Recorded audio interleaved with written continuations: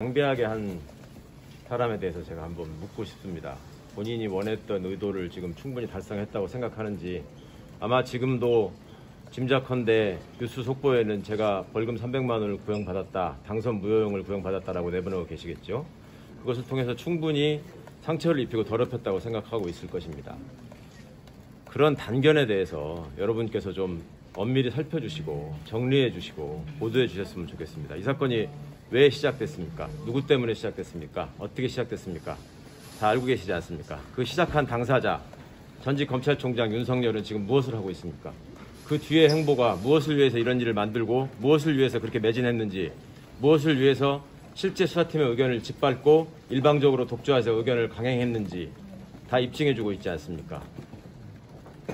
그러한 사람에 대해서는 왜 의문을 제기하지 않으시고 검찰이 일방적으로 유포한 주장에 대해서만 그렇게 집중해서 물어보시고 늘 취재하시는지 저는 여러분께 꼭 묻고 싶었습니다.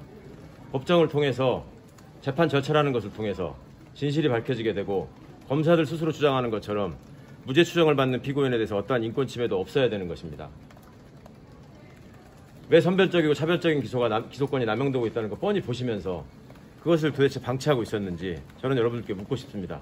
이런 사건을 통해서 이런 말 같지 않은 사건을 통해서 이런 어이없는 사건을 통해서 정치 검찰의 민낯이 드러난 점에 대해서 다행스럽게 생각하고 그런 점에서 제가 윤석열이라는 분을 검찰 개혁에 큰 공로가 있는 분이라고 다시 한번 인정하지 않을 수 없습니다.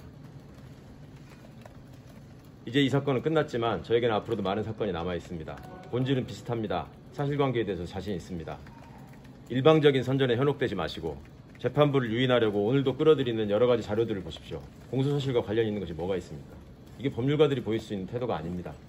이런 정치적인 태도에 대해서, 이런 정치적인 준동에 대해서 법원이 현명하신 판단을 내려주실 거라고 믿고 저는 선고 일자를 기다리겠습니다. 여러분들도 그동안 여러 가지로 헷갈리는 얘기들이 많이 오갈 수 있고 또 일방적인 설명에 의해서 현혹되실 수 있었음에도 불구하고 끝까지 이렇게 취재에 임해주시고 또 의견을 듣고자 애쓰시는 점에 대해서 일일이 응대해주지 못한 점 제 입장을 좀 헤아려 주시기 바라고 앞으로도 좋은 자리에서 좋은 장소에서 또 좋은 의미로 만날 수 있었으면 좋겠습니다. 고맙습니다.